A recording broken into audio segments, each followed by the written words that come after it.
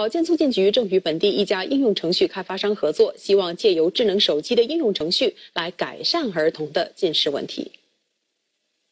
当孩子看手机的距离太近，或者是姿势不正确的时候，这款应用程序就会每五秒钟发出一次警告，直到他们调整姿势为止。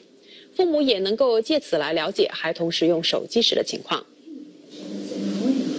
When you posture is not right, then the message keeps coming, so it's annoying. So I just I just want to follow it. Where you, you know, the device also keeps telling you uh, her usage as well as we try and control it uh, at our end as well.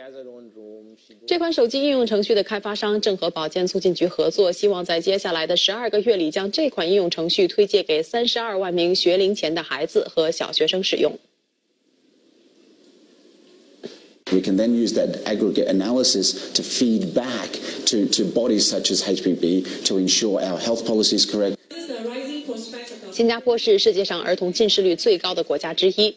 小学一年级的学生当中，约有百分之二十八患有近视；到了小学六年级的时候，更是增加到大约百分之六十五。贸工部长陈振声说。